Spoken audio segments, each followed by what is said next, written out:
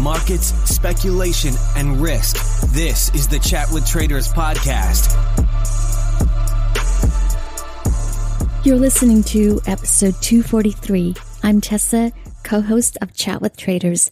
This is a special episode with Aaron hosting alone with our guest. It doesn't contain talk on how to read charts, how to pick the direction of stocks, or how to handle your trading psyche. But for some of you, this episode will spin your mind and bend any preconceived notions that you might have about trading because it shines a spotlight on what happens if you were to uncover a structural inefficiency that can be exploited.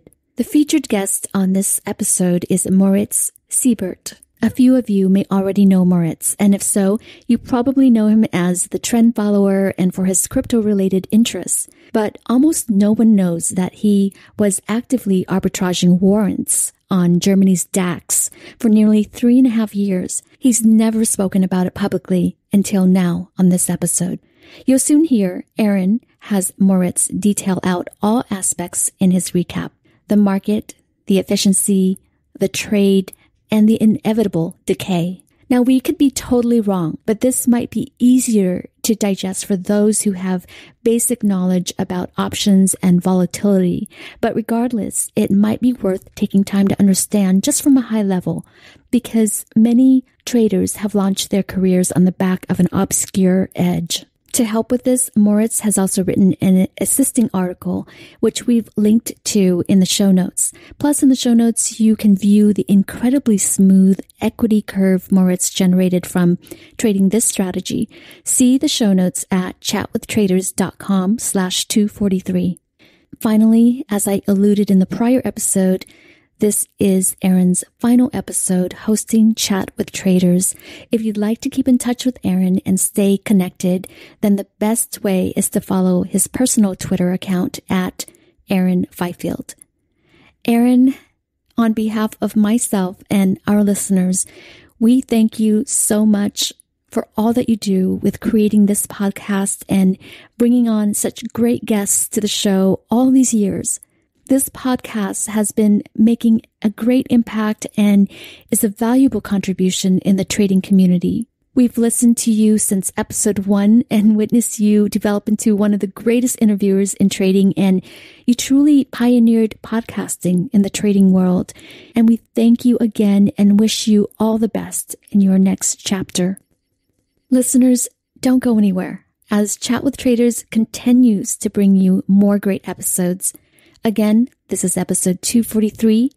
Now, coming to you from Germany, here is Moritz Seibert. Before we walk through the actual trade and its specifics, I think it'd be beneficial just to take a few moments to give some context of the product slash market of which you were trading. Now, I know this uh, strategy or this uh, trade uh, used warrants. You were trading warrants. Um, I understand that they share some similarities to options. In what ways are they the same, and in what ways do they differ? And just generally, what are warrants? So, warrants are like options. They have essentially the same economics. An option is something that is quoted and traded on a on an exchange, such as, for instance, the Eurex exchange or the CME. And a warrant is an option that is wrapped into a note or paper that's issued by a bank. So we're talking about a bank such as, say, you know, HSBC or Citibank or Goldman issuing a warrant. So they're essentially issuing an option that is wrapped into the bank's paper, and they make that available to retail traders. That is essentially the key difference. Economics are the same. They're quoted a little bit different. I'll get into that in a bit. But essentially, it's like an option, just issued by a bank. Okay, so when you say it's issued by a bank, I mean, what does that mean? And you use the term bank's paper again, like what what does this kind of refer to? Right. Let's start at the beginning. So there's a big structured product market, not only here in Europe, but I think it also exists in Australia. It definitely does exist in in the US, but in, in Asia as well. But Europe has a very large structured products market. That is a market where banks offer specific investment products to retail clients, sometimes professional traders as well, but mostly retail clients. And it's kind of like slicing and dicing put options and call options and putting things together where you can have an upside participation, say, linked to the Euro Stoxx 50 index, but with less of a downside, and it has all the callable features. So all these type of things, that is a space that is dominated by the banks, and the banks will issue the products now in order to make them tradable, in order for these products to have an ISIN or a CUSIP code, they need to be wrapped or they need to be packaged into something that becomes a tradable product. And that is usually a note. And a note is a debt instrument that's issued by the bank. They would issue that paper. I call that paper. It's a note. And the terms of that note would essentially stipulate that the note is supposed to track the performance of an index or is to, supposed to track the performance of whatever strategy, you know, underlies underlies that product. So that that is how that works. Okay, and these are exchange listed products, just like options.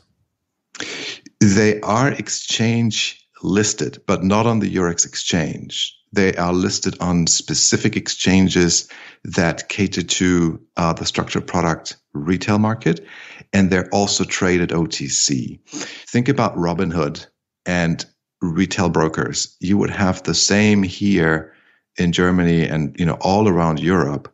You will have brokers that or through which you can access these products. There are quite a few. Like I was using all of them. I can explain to you why I did that because I needed to, you know, get the best execution rates and they were changing all the time. So I needed to flip around between brokers.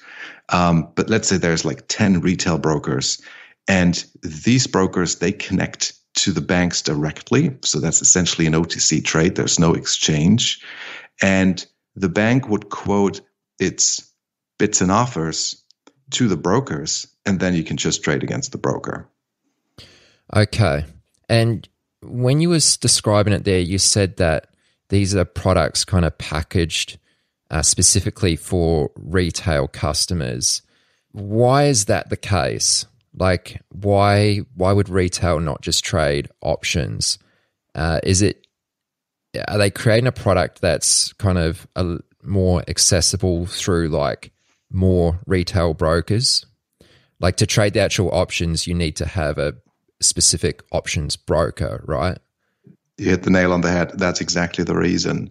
You know, I do trade options. I do trade, you know, DAX options and futures options on the S&P 500.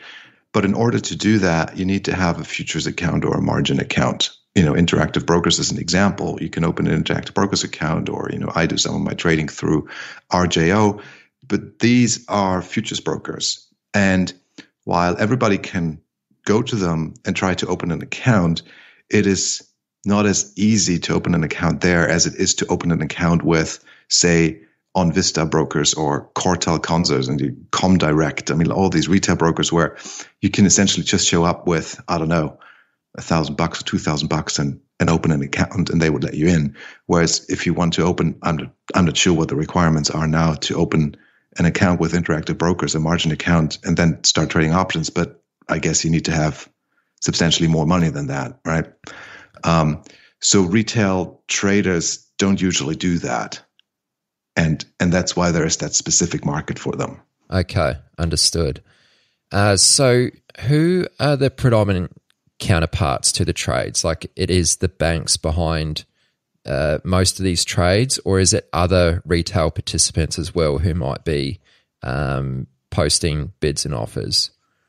You're only trading against the banks, and this is this is an interesting part here because on a two-sided market, such as, for instance, on the Eurex exchange, which is where the options are traded on the DAX. And by the way, that's the only underlier I traded. I'll explain to you in a second why that is.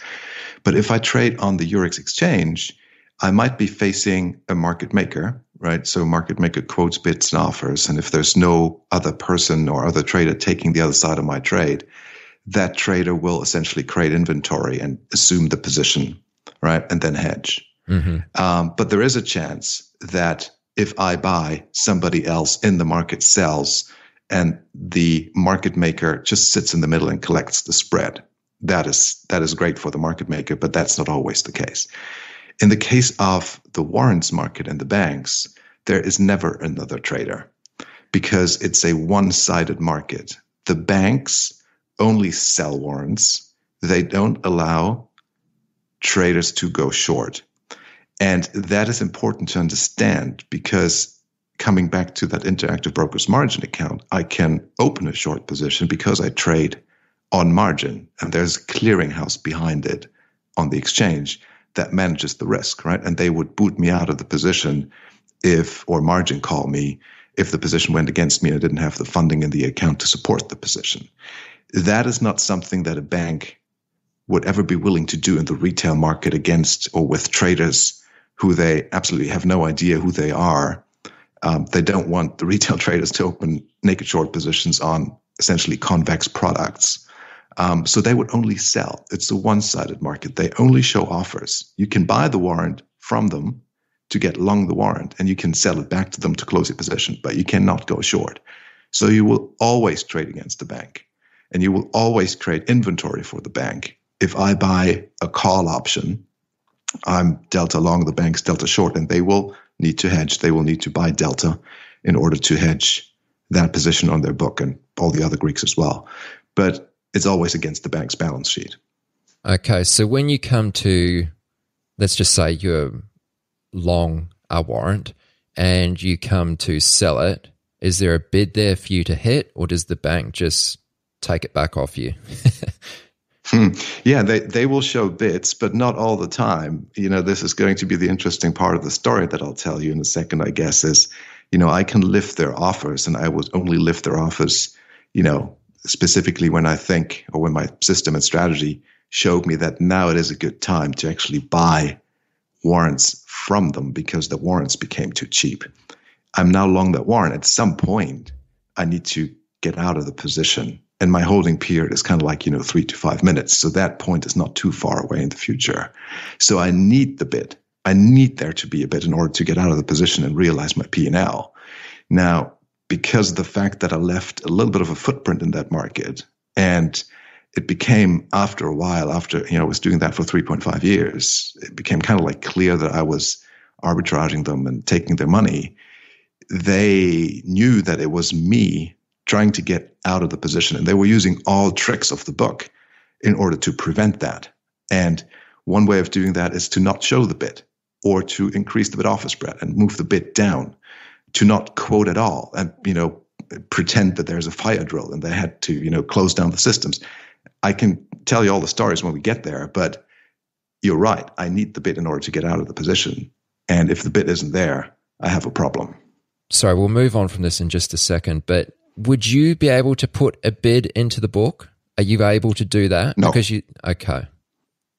I can on the Eurex, right? If we're trading or on the CME or in any other options exchange, um, you can put a bid into the book, which means you're willing to sell uh, open a short position, um, and then your bid sits there in the order book, and you know, depending on where you are, you get hit or not.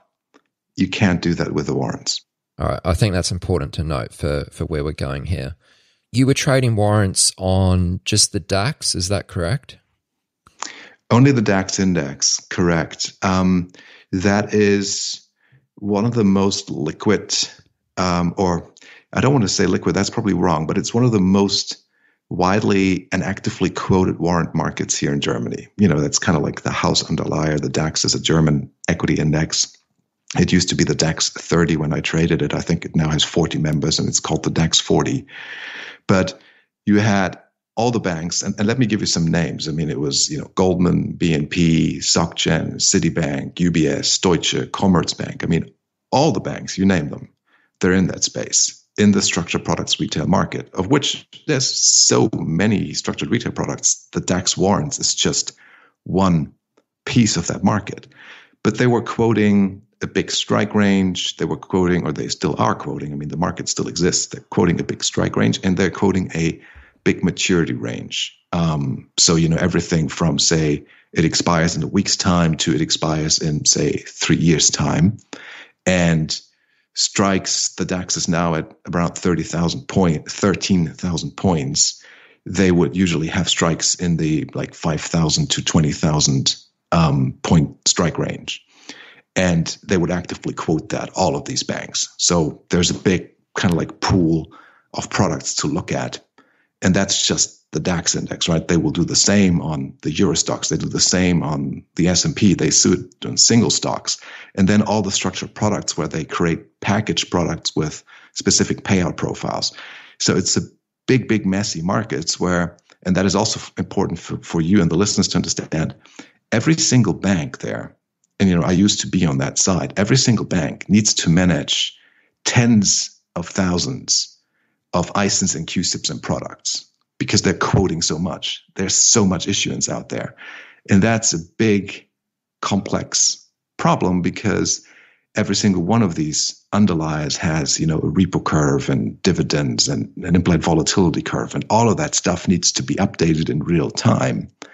Um, so you can already understand the dimension of the, say, tech problem and, and, you know, the IT requirements that come along with it in order to manage these complex books.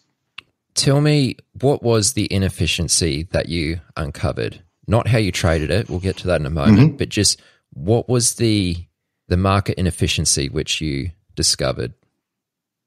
Right. Two things. The trade worked because the banks quoted a too tight bid offer spread for DAX warrants. That's reason number one.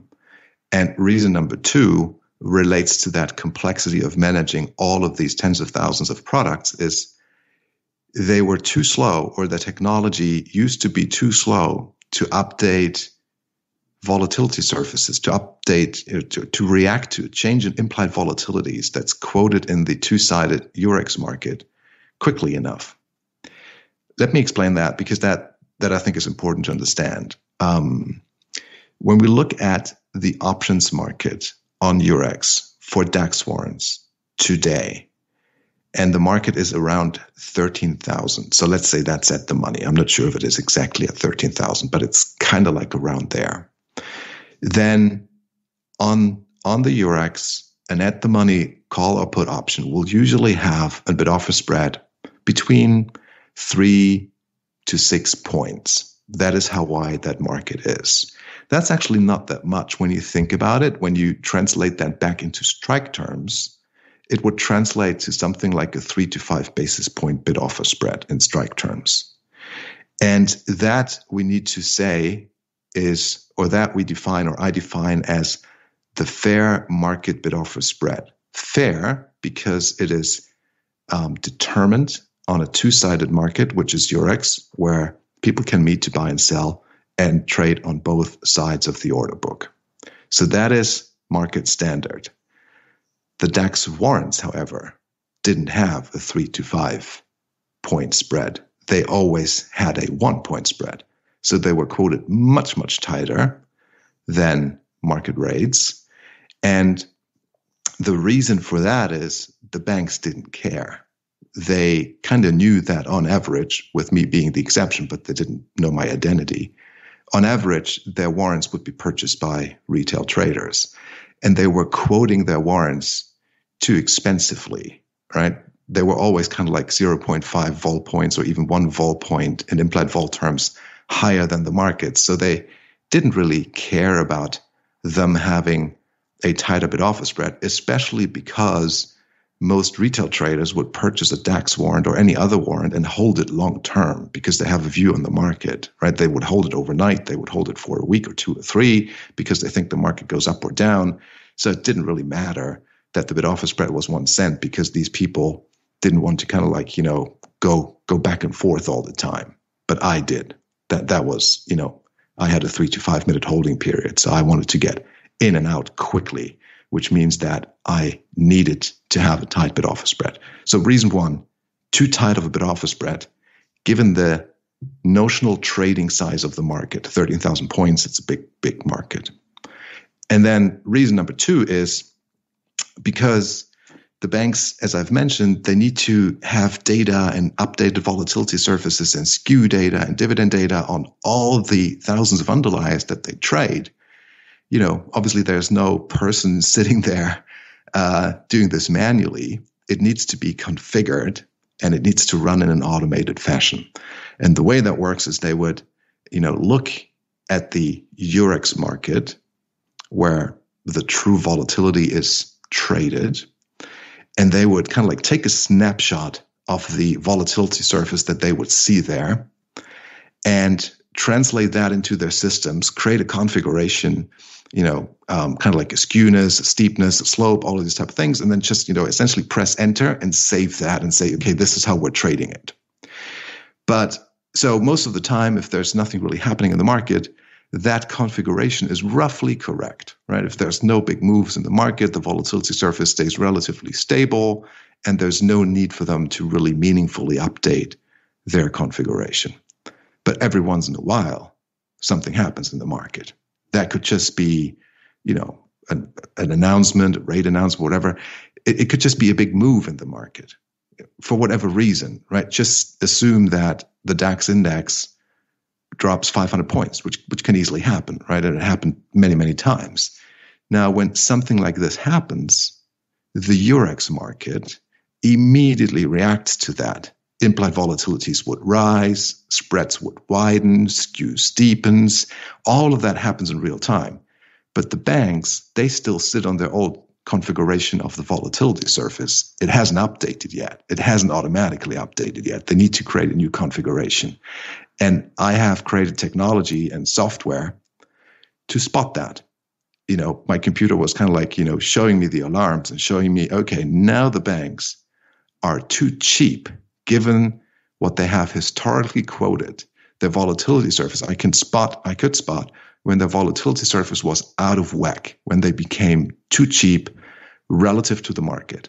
And when I saw that, I was trying to buy as much as I could because the anticipation is that you know they would within the next couple of minutes update their volatility surface in order to prevent for a clean arbitrage opportunity to pop up, which could actually pop up if they became cheaper than the Eurex, right? Because if they become cheaper than the Eurex, I will buy their warrant and I will sell on Eurex because that's where I can sell for a for a clean profit.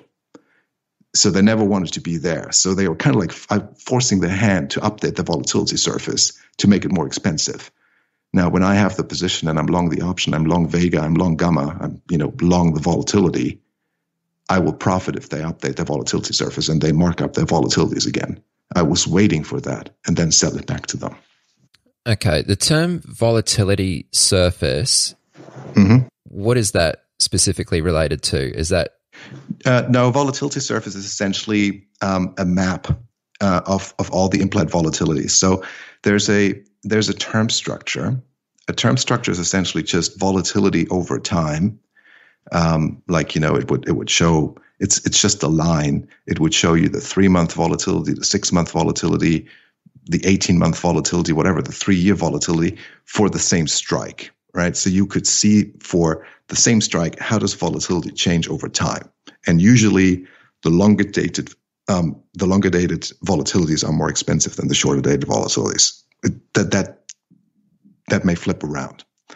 And then you have skew, which is different volatilities for the same maturity but different strikes, right? And when you put these things together, the skew and the term structure, it creates a surface um, and essentially, the surface shows you all the volatilities for an underlying market.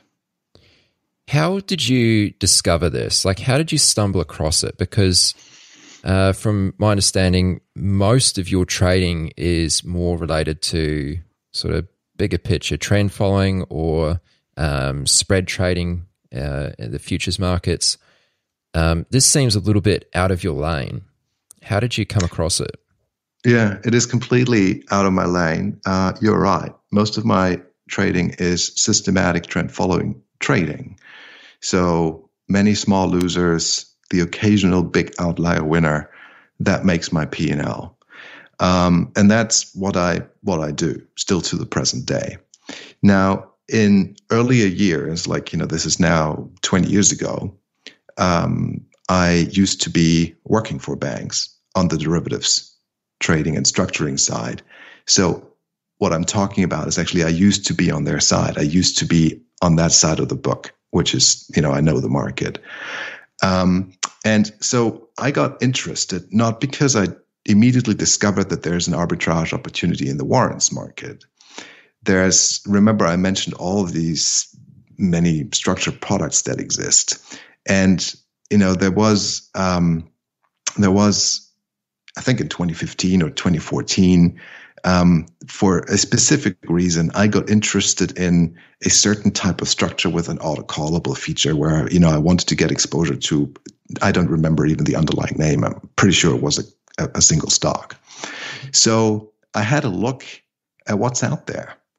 And I hadn't looked at that market for like years and years. So I was just browsing around the internet, um, looking at you know the websites of the different banks, seeing what they have, you know, trying to understand the prices, you know, calculating whether they were pricing it fairly. I stumbled across the DAX warrants. And it's just like, hmm, interesting. They're quoted with a one cent bid offer spread, and I can see that they're quoted with a three to five point spread on the Eurex. So I just gave that a little bit more of a look. And um, one thing came to the next. I just, you know, then understood that, okay, so this is this is actually too tight. They're quoting it too tight. How can I how can I take advantage of that? And it wasn't immediately clear to me because I knew that I can only buy their warrants. I also knew that their warrants are priced too expensively. They're always, you know, more expensive than what I could trade on Eurex. So it's kind of like that's off putting. But then over time, I figured out that I'm if I'm quick enough to get in and out, um, I'm essentially essentially exploiting their two type bid offer spread and their uh, slowliness on updating volatility markets. So one thing came to the next. It wasn't immediately clear to me that this is how I would do it. Really, it evolved over time. Eventually, I had it together um, in in 2015, and I started with a bunch of paper trades, by the way, because I needed to get into the swing of things. You know, it wasn't it wasn't really clear to me that I could execute this cleanly. So I was, you know, testing it and playing around with it. I think for I did 80, 80 to 100 or so paper trades where it was just, you know, simulating actually doing the trade, but not not executing it. But I understood, okay, so that it would have worked, it would have worked, it would have made money. And then I just went for it and tried it out um, and adjusted over time. I mean, they, they were throwing a lot of things in my way because over time they figured out that I was uh, eating into their P&L.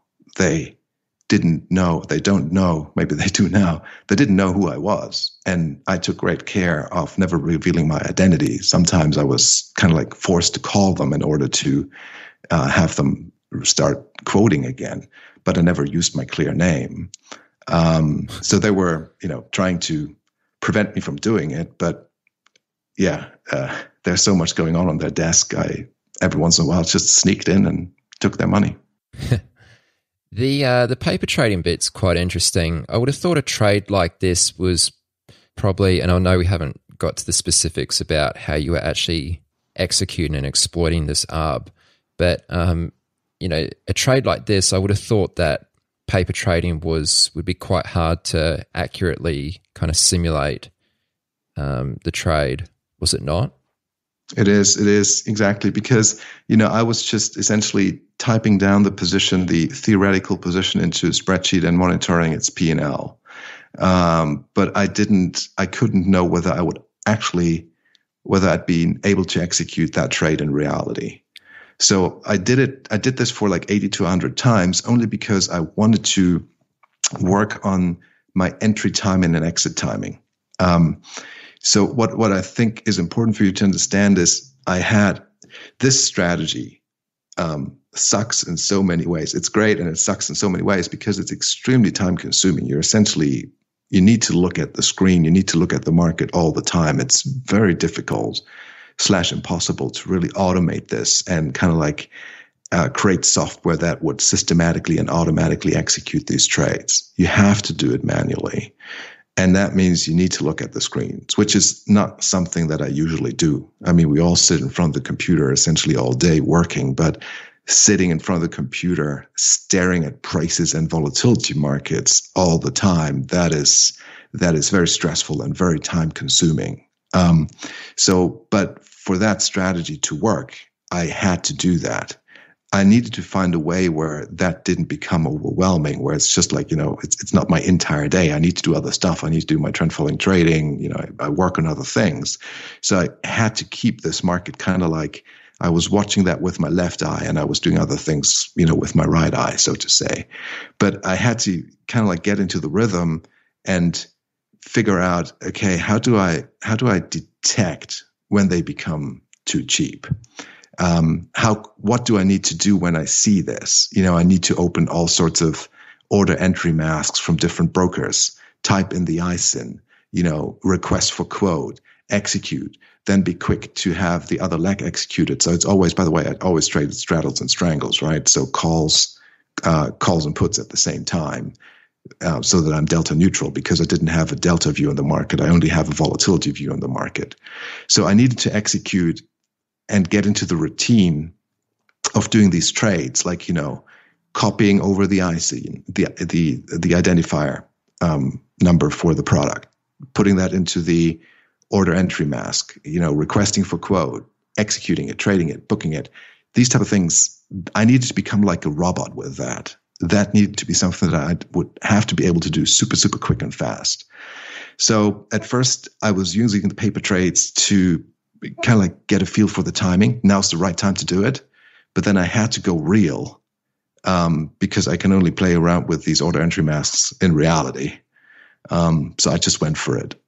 But I came out of the gates uh, blazing. it was like um, I rarely had a down day. I never had a down week. I mean, this strategy was uh, unfortunately not scalable, but extremely extremely successful from a risk reward point of view. Yeah. Well, up to this point, we've set the scene of the market, the product. We've kind of outlined the inefficiency there. Let's speak more specifically about how you would execute the trade. So, how you would execute the ARB. Like, how would mm-hmm. you specifically exploit the inefficiency that was that existed? Right. So, think of me sitting in front of a spreadsheet. It actually is a spreadsheet. It wasn't any other software. It is a an Excel spreadsheet. And that spreadsheet had a couple of API and DDE connections to all sorts of data sources. So, for instance, I was taking the Eurex, the true DAX volatility market, from interactive brokers. So, there's like you, you can and your listeners will probably know that you can connect to interactive brokers and source data from interactive brokers. So I was subscribed to the DAX market um, on interactive brokers, and I was pulling essentially their volatility data into a spreadsheet. So now I have what kind of like is the fair market price. And then I had a bunch of other connections where I was connecting to all the different brokers that I was doing business with. And I was pulling in their quotes all in real time into an Excel spreadsheet for the warrants market. I now have the two together in a spreadsheet. And that allowed me to create or to calculate a simple spread between how expensive is the warrant relative to what I can see in real time on the Eurex. And so let's just say that the warrant is five to six, seven cents more expensive than what's quoted on Eurex. And I would have, you know, I could calculate the implied volatilities and I could, I, I did calculate all sorts of metrics in order to determine uh, relative expensiveness and cheapness. And then a code would run. And for the entire day, every two seconds, I would create a snapshot, essentially store that into a database in order to get a feeling for how much more expensive are the warrants on average quoted on that specific day that I'm looking at it. So the market opens at 9, it closes at 5:30. For the entire period I was kind of like, you know, measuring the relative expensiveness of the spread. And then using simple statistics, I can now calculate something like, you know, percentiles or quintiles and I could now over time see okay, the the, the warrant market is now becoming too cheap in volatility terms relative to the Eurex, and we're moving into the, you know, uh, the, the top percentile of cheapness. And it's like, okay, that's interesting. We're, we're now really relative cheap. So an alarm would kind of like go off and indicate to me that, hey, this is this is now getting interesting. Warrants are now relatively cheap or in the like top 10% of cheapness for that day. So I would give that a closer look. Now, what I needed to also be the case is I needed for there to be a market move.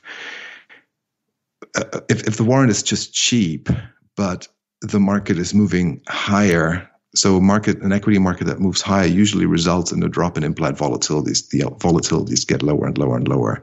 That's not a great environment to put a long volatility trade on. That's not a great environment to be long a call and put at the same time. You know, you might be long a position that is relatively cheap, but it can still get cheaper, right? But I now knew that the the warrants were cheap, and if I did see that the market is actually going down, that implied volatilities are rising, that there's something happening in the market that's just moves, right? Then I would get in because then the probability is relatively high that the banks will be forced to update their volatility surface and become more expensive again, essentially resolving the cheapness that has been created because they were too slow to update the volatility surface and then I would like to be long the call and the put. And immediately, like as soon as they did it, as soon as they updated the volatility surface, because I had a real time view, that would also show up in my spreadsheet. I would get another alarm. It's like, boom, here we go. They've updated their vol surface. I could immediately see the P&L, you know, which I had in real time as well. And then I would go back and try to hit the bid and close the position. Okay. I might just ask you to maybe slow down the bit where you where the alarm goes off and you say, then I get in. Like when you get in, what exactly are you doing there? So when I get in, um, I was looking at all the issuing banks at the same time. So my spreadsheet would have the Goldmans and the BNPs and the HSBCs and the Deutsches and all of them displayed at the same time. And I coded it in such way with you know VBA or just you know the standard Excel type of stuff that you do that my spreadsheet would for me without me doing anything select the strikes and select the issuing bank and calculate the position size automatically for delta neutrality. So I might have something like a minus 25 delta put and a plus 50 delta call. So I would have a ratio of two to one. All that stuff is automatically. So essentially, the spreadsheet was designed in such a way that it would show me the position that I needed to put on, including the ISINs and everything. But what's an example of that position? Because you used the term, we spoke about strangles and straddles very briefly before. Like, can you speak to that part of it? Like, how did you you know exactly like, you know, were you buying put warrants or calls or like what was the how would you determine like what kind of position you had to put on mm-hmm.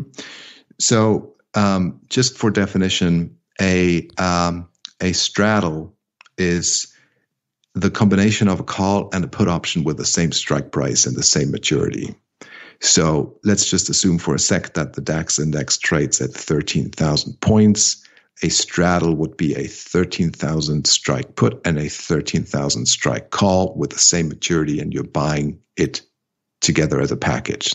There are two legs, right? A strangle is essentially the same thing, but with different strikes. So it could be a 12,500 strike put and a 13,500 strike call. That is a strangle. But because one is a put and the other one is a call, they have opposing deltas. The call is delta long, the put is delta short. I had no business in forecasting the direction of the market. I'm very bad at doing that. So I don't want to have a delta position. I needed to create the position in such way that it's delta neutral. When you trade a um, straddle, so same strike price, you're very close to delta neutrality because, you know, the put will usually have a delta of minus 50%, and the call is going to have a delta of plus 50% at the money.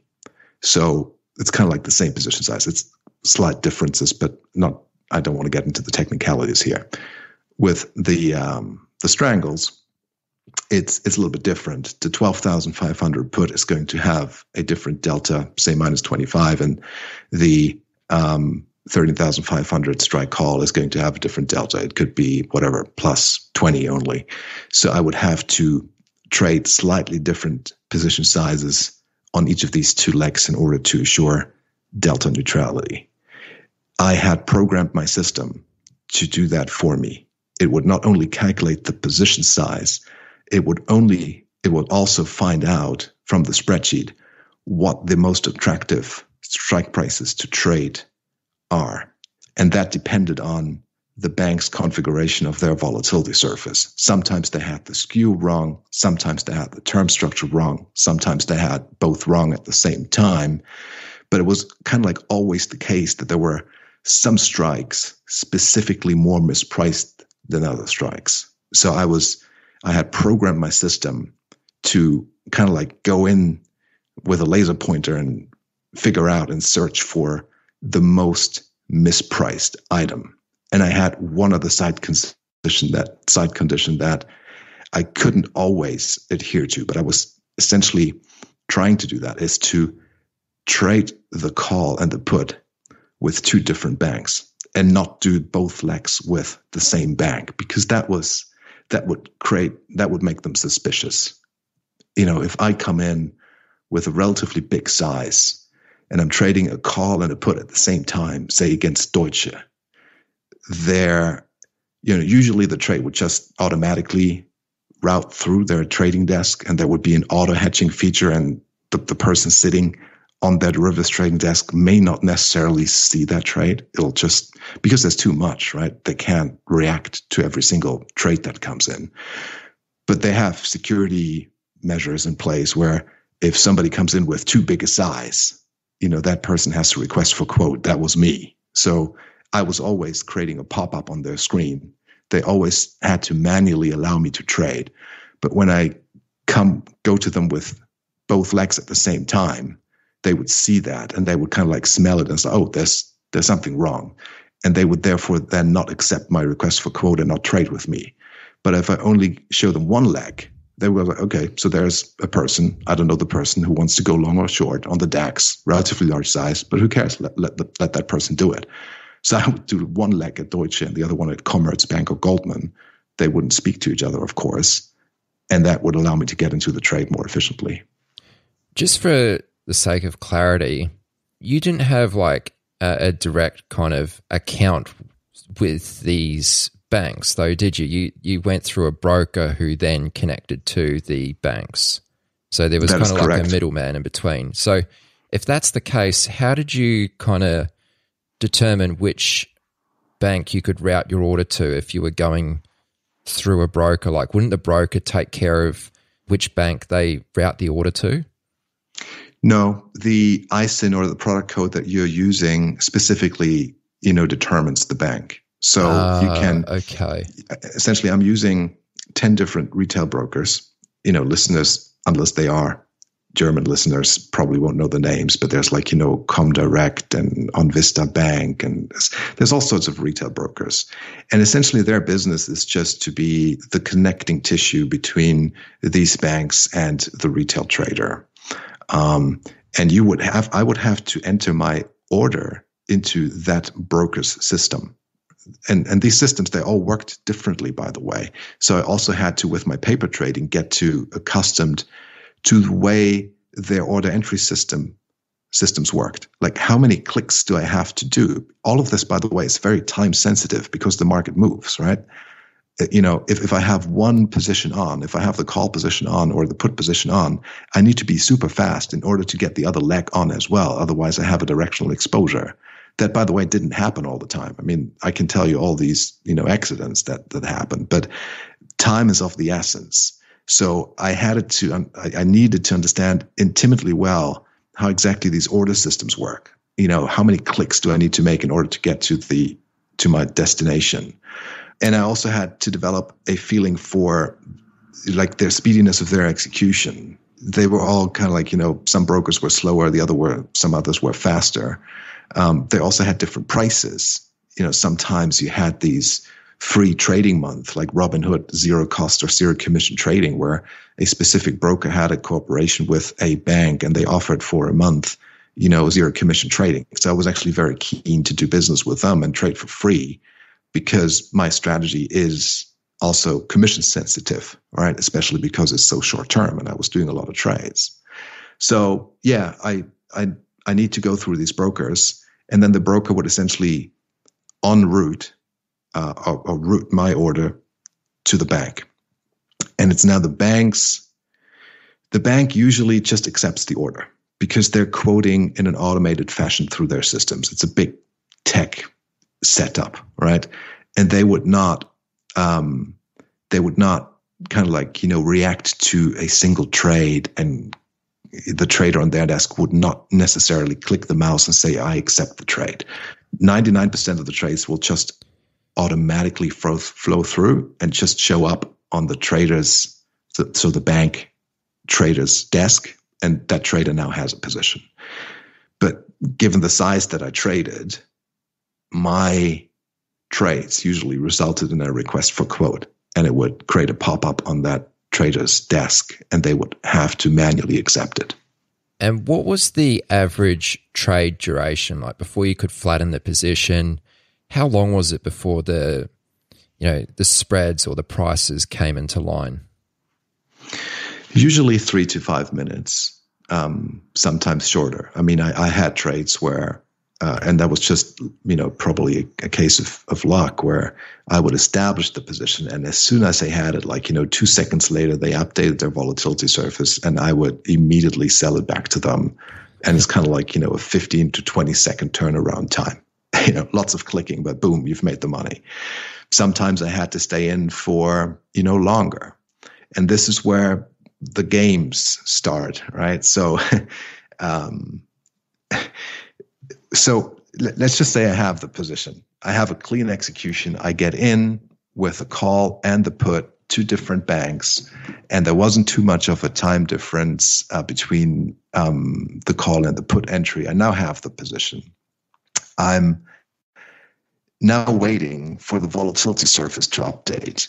Um, and let's just let's just say the market like it goes down and volatility go go and move moves higher. Um, but the bank or the two banks that I traded with, they kind of like know that I had just established the position. They knew it because of the size that I traded because I was, you know, trying to do as much as I possibly could in order to scale that strategy, right? So I would go in and trade, you know, 10,000 warrants. I would go and trade another 10,000 warrants, another 10,000 warrants. Like, you know, I was trying to do as much as I can, but that became a big position and it showed up on their book. Now, they, therefore, they knew that um, as soon as they update the volatility surface, I would go out. They kind of like, they they, they just knew that over time it became clear. Now, when they update the volatility surface, they know that they're going to lose money because I will sell that position back to them and I will essentially take their money. I will eat into their P&L, right? So they don't want that to happen.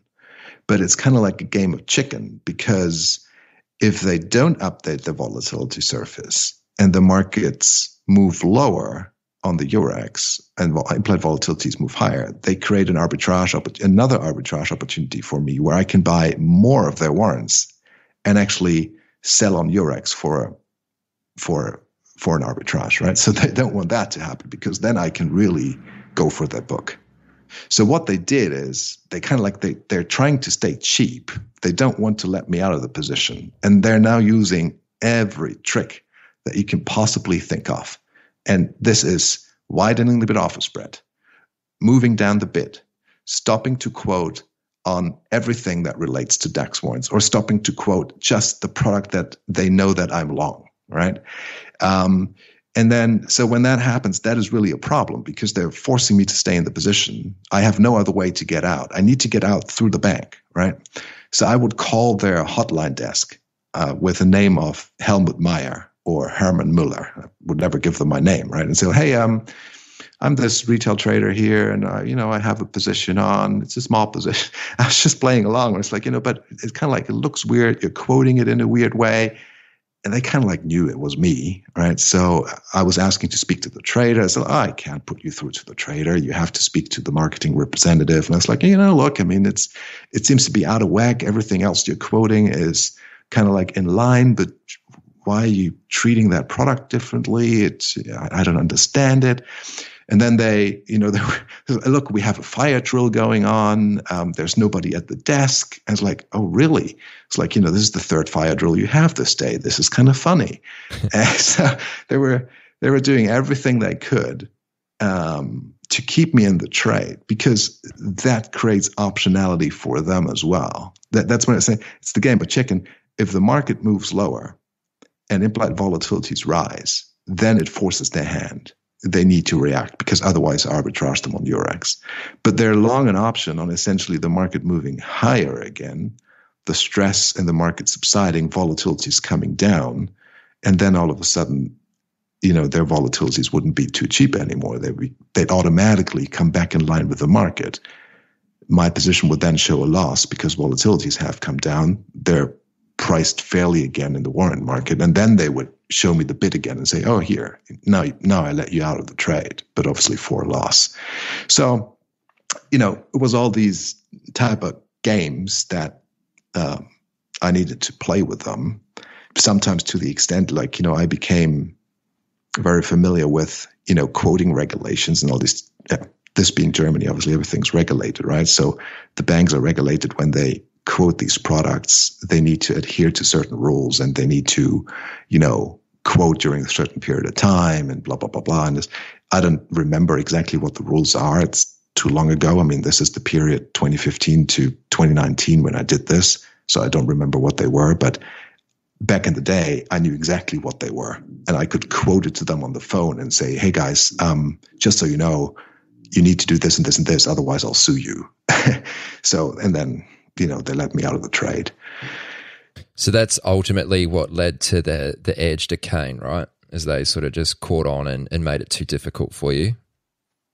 They caught on. They knew it was going on for three, three point five years is for how long I took it. And you know, I, I send you my P&L curve, and you can see at the very end it just started flatlining. Um, and the reason it started flatlining is they essentially all of them over time increased the bid offer spread from one cent to two cents, and and that killed it. You know, um, the the bank that started doing that was actually Deutsche. Um, Deutsche was the first bank. Actually, I think I also made most money from Deutsche. It was the most profitable counterparty. Um, but so yeah, I, I took their money, and over time they just said, "Look, I mean, this is this guy is taking our money." let's just increase the spread from one cent to two cents. Now you have to be, if you put yourself in the position of the bank, that is not an easy decision to make, right? Because there's BNP and SocGen and Goldman and HSBC and all the other banks out there who are still quoting at one. So they would have a competitive advantage in the retail market. They could go and show, hey, we're still quoting at one. You should come and trade with me. Don't trade with Deutsche. They're obviously more expensive. So it's a difficult decision for the bank to make. But Deutsche did make that decision and they increased the bid offer spread to two cents.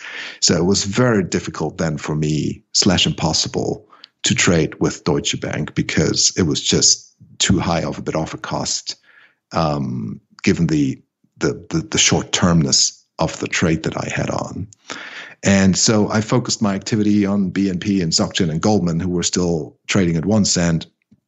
Um, but then over time, they also, you know, changed to two cents and and that is kind of like what killed it. And ever since, the market is at two cents. So I guess uh, I've been one of the reasons why the German warrant market no longer quotes at one cent spread, but is now trading at two, which is still a tad cheaper than what you would see on Eurex, but big enough for there not to be an easy arbitrage opportunity. This may be a silly question that kind of misses the point, but I'll ask it regardless. How come you would never execute one leg um, on the warrants, so the, the structured retail product, and then the other leg on Eurex? Um, well, because Eurex is fairly priced, right? There's um, Eurex is a two sided market where volatility is let's just say fair because it's determined by buyers and sellers in real time. But you've got one leg which is fair, and then the warrants which are inaccurately priced. Oh, I see. Yeah, no, but so when the volatility surface uh, of the bank is out of whack, it makes their calls and the puts too cheap, right? So yes, you, are right. I could have traded just one leg with the bank or against the bank, buying volatility on the cheap there, and putting on the hedge on Eurex where it would be more expensive. Um, but obviously, I have an incentive to do both with the bank because the bank on both has a too tight offer spread, and on both they're too cheap. So there's just more more bang for the buck there. Okay. Yeah, that's probably quite a key point. Glad I asked that question. I mean, I guess this is probably my lack of knowledge about options kind of showing through there. But yeah, thanks for clarifying that. No worries. And the, the other thing that is maybe, well, it, it's probably interesting to know, but a volatility, uh, volatility, essentially when you're trading options, you're trading volatility, right? And the volatility has a bid and an offer. Think about the volatility surface being quoted on the bid and being quoted on the offer. There's there's a spread between, you know, um, offer volatility and bid volatility. Now, the warrants are obviously, when you buy them, they're always long volatility. So the bank would quote the offer side of the volatility surface if they had one. um, and but they have a bunch of other products, yeah, auto callables and all sorts of like structured products where the end customer is short volatility as opposed to long volatility, as I was with the warrants. Most of the bank's business is actually in products where clients end up being short vol, right? Because clients like to sell volatility for a premium, you know, thinking about this in a yield context, if you will.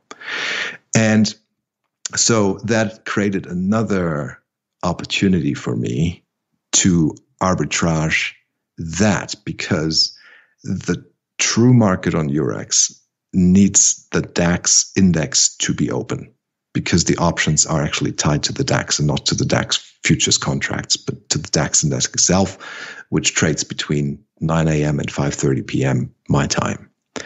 But the retail structured products market has a pre-market and has a post-market. It kind of like they start quoting at eight in the morning, which is before the market opens, and they continue to quote after 5:30 all the way until 10 p.m.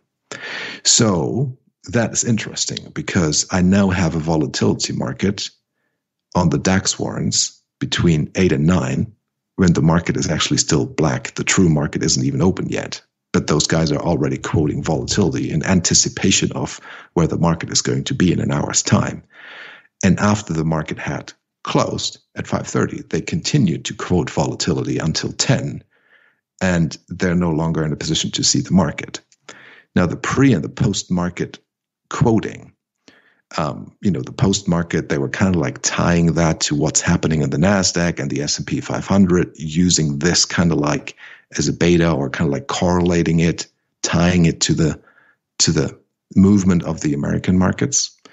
But um, the market quoted between eight and nine is a little bit more difficult because it kind of like, oh, well, what does Nikkei do? What did the American markets do overnight? You just don't know whether there's going to be a big gap in the market, right? So they were super conservative, therefore, on their quoting between eight and nine.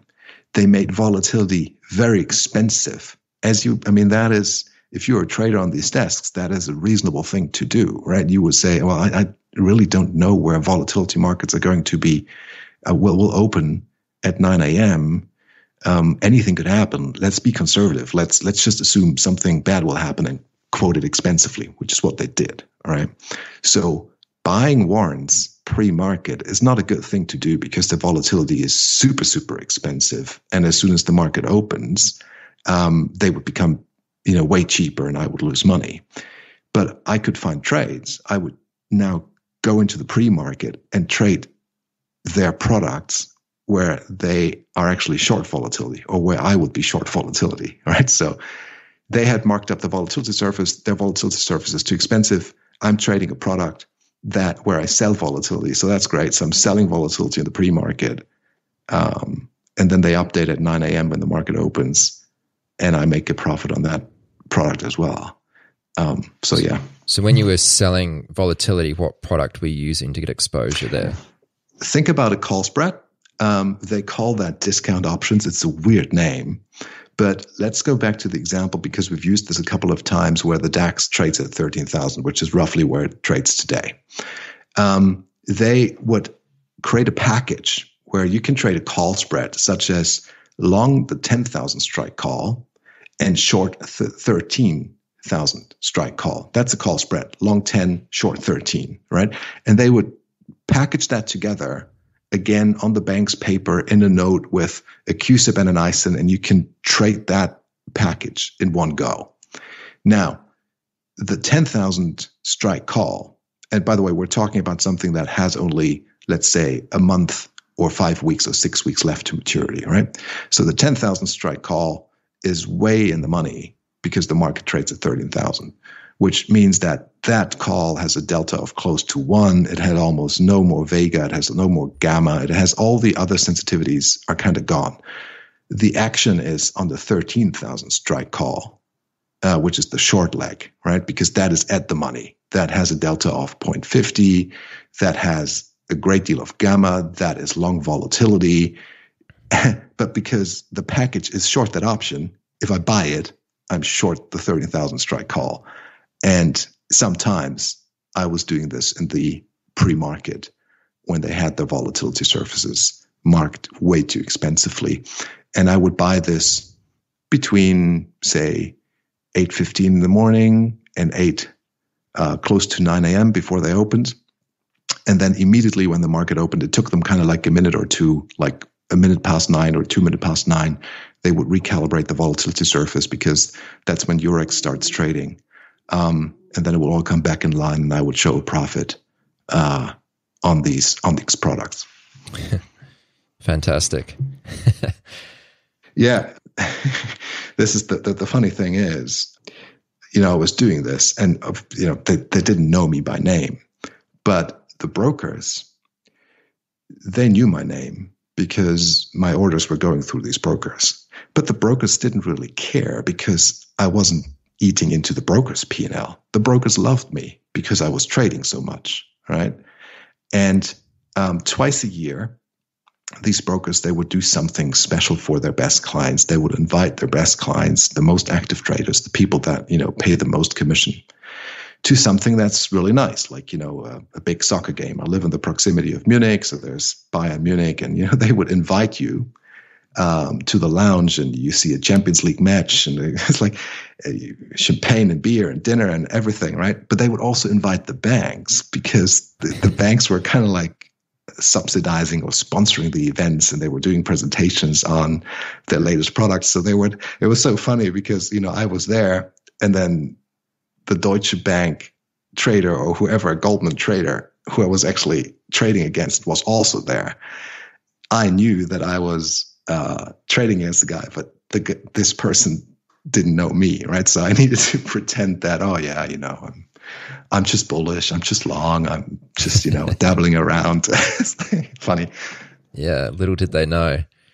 Anyway, let's leave it there, Moritz. Share your Twitter, uh, your website, and if you're still doing your podcast, right?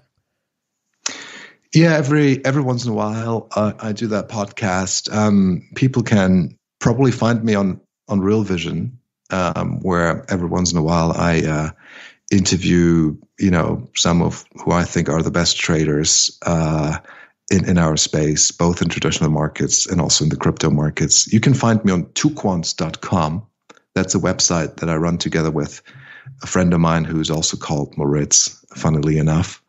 Um, and my Twitter handle is Moritz Seibert. So, you know, if if you type in my name, uh, it'll it'll pop up and you'll find me. Okay. Well, we'll put links to uh, everything you just mentioned there in the show notes, of course, uh, like we do every time.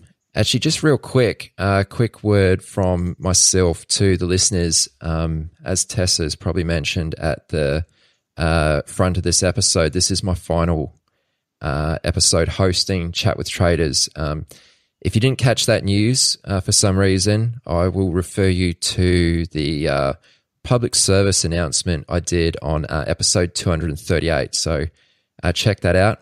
Otherwise, if you'd like to keep in touch with me, uh, best thing to do is follow my personal Twitter, which is at Aaron Fifield. Pretty simple. Uh, of course, guys, appreciate all the love and support over the years. It's been real. Uh, Moritz, thank you very much for doing this. I'm glad we um, got the opportunity to have this discussion because I just find this sort of thing, uh, like the, these true kind of inefficiencies, just really fascinating. So uh, I'm I'm very grateful to have had you on. So appreciate your time.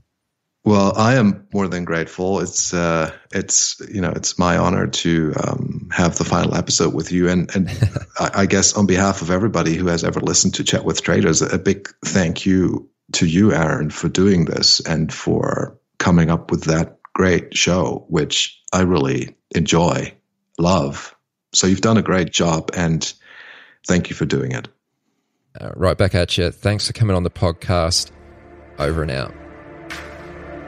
You've reached the end of this episode of Chat with Traders. But rest assured, there are more episodes loaded with real market insight and zero hype on the way soon.